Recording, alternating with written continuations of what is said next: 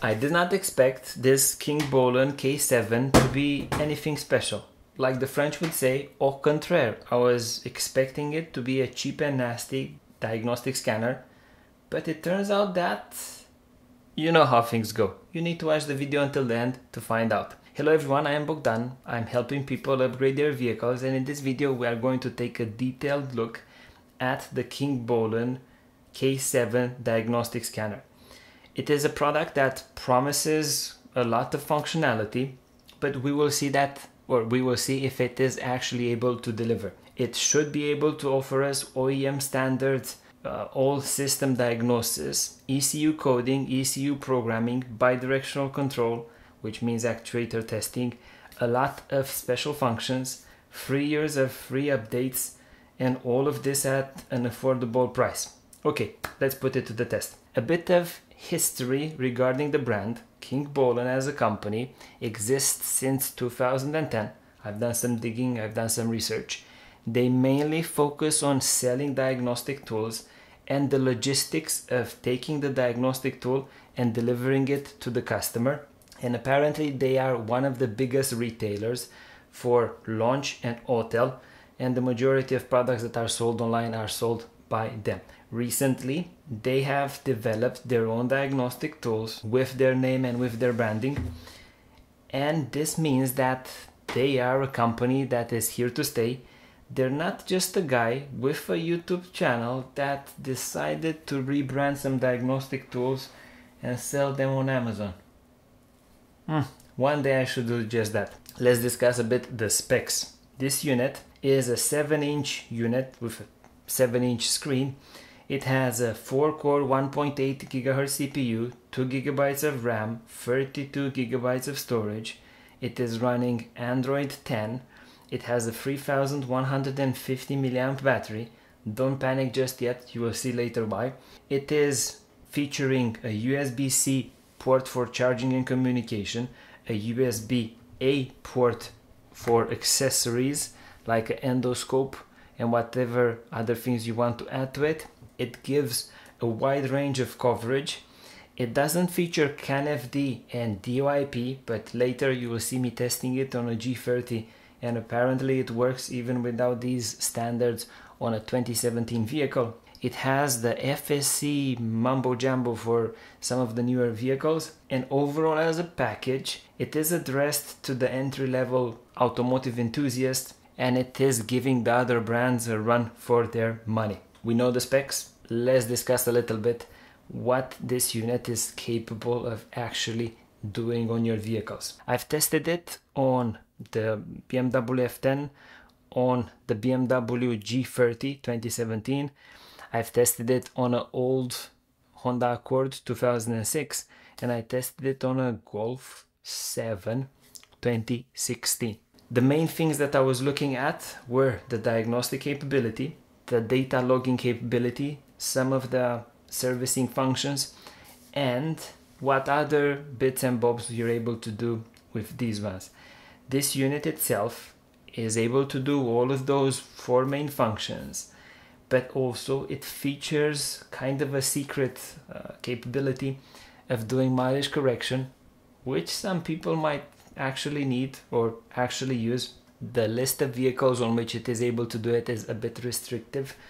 It is able to do the VAGs, Volkswagen, Audi, Seat and Skoda. It is able to do Nissan, a few of them, MG, some American cars, GM, Chrysler, and Jeep, if I've seen it correctly. But you need to actually test it because I'm not expecting it to work on all the range of vehicles. Testing, actual testing, Honda Accords, all the scanning went according to plan, consistent with the other diagnostic tools that I've tested, and I will be comparing it from time to time with the um, Launch X431 Elite, which I'm thinking that shares some of the software and some of the functionality. For some reason, the software between launch and this unit is very similar. They might be using the software and collaborating with the brands that they have been selling. So they might be working closely with Launch and Autel to get the capability on these tools. We go and we look at the BMW F10. Basic diagnostics worked flawlessly, data logging, absolutely no problem. There were some hiccups with regards to the central information display, which doesn't exist on my vehicle anymore, but the unit sees it uh, in the diagnostics. The same problem is on the launch, so I wouldn't put too much uh, leverage or I wouldn't focus too much on that. I've tested the coding and ECU programming capabilities. This unit knows about the level of the software of the vehicle and it's similar to certain extents to E-Sys and it's quite nice because before allowing you to actually program something it asks you to perform a backup to save the previous coding so that if something goes wrong you can re-upload the old file and it's giving you freedom to change things but not too many things in a later video I might test this and actually see the things that we are able to do with the fail-safe of having E-Sys to actually see what this unit is uh, is capable of doing. They are allowing you to do retrofits, which is interesting. The retrofit part of the software, I'm expecting it to work on the vehicle order that the vehicle has stored.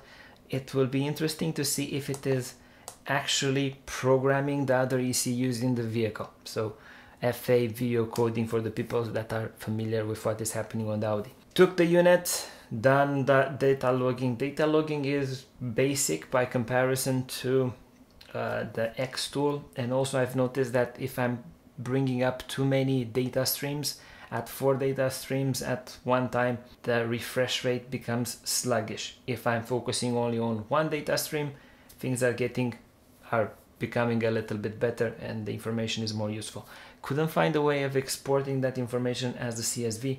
So this unit will not be your best bet if you want to do data logging. Uh, I've discussed ECU coding, diagnostics, the G30, the newest vehicle that I've tested with this diagnostic tool. Many people are saying that one will have DOIP, CANFD, all the fancy stuff. This unit, although not advertised at having those bits, was able to scan all the system. I've compared it in parallel with the BMW genuine diagnosis and I've looked at the reports this one was not able to read the MBT Evo so the media unit however all the other DTCs have been read correctly by this which makes it a decent uh, option in my opinion. So engine and the main things you will be able to work on. I couldn't actually test the ECU programming that much on that vehicle.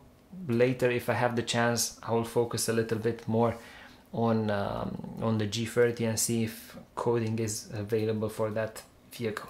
On the Volkswagen everything went according to plan. It scanned the vehicle. What I would say if I really want to be picky it doesn't give you in the report the status of a DTC in the sense that if it is present, intermittent or it's a history DTC but it's quite a good starting point for your own diagnosis if you want to go on that route. What else to expect? As a diagnostic tool, it will be able to provide electronic parking brake functions, it will be able to provide fuel bleeding functionalities, all the main things that you will need when you're doing the own when you're doing your own work on your vehicle.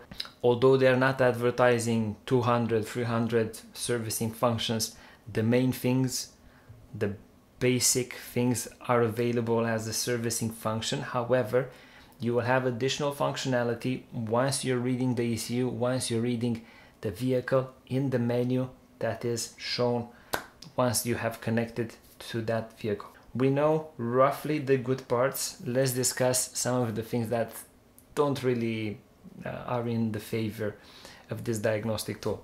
On the negative side of the things, the lack of the CANFD and of the DOIP might be something that limits this diagnostic tool for the newer vehicles, but overall as a package, we are searching for reasons to find something that doesn't work. If we focus on the good bits, the pricing is quite appealing. The quality of the screen is something that you need to test to actually um, enjoy.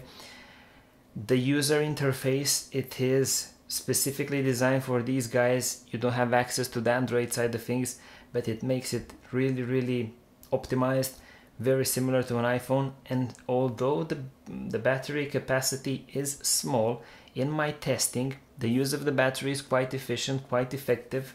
In just standby it lost 5% charge in 8 hours.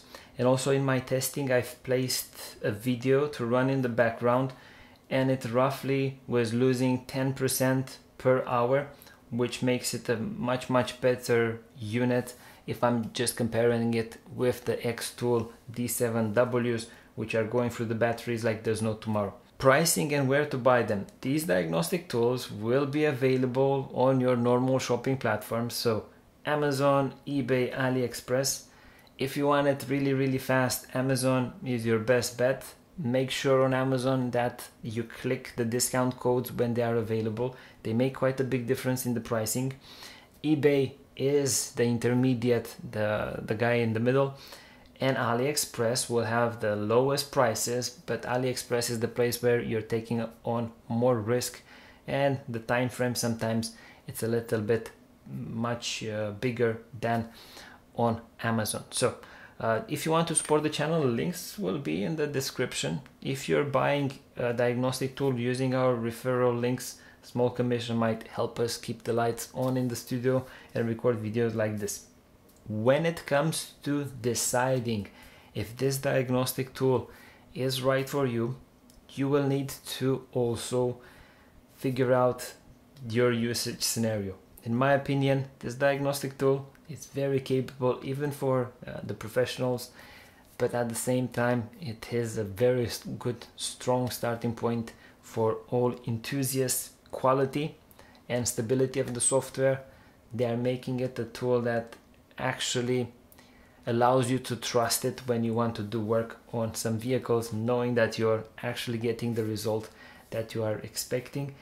This opinion of mine is based on me actually testing uh, the um, launch products and that similarity that, that I was discussing regarding launch and the software might uh, be uh, quite consistent. Now if you enjoyed this video you might also want to see a video over here regarding these diagnostic tools or their competitors. Alternatively, you can look at our diagnostic database that will be in the description. Thank you for watching and see you in the next one.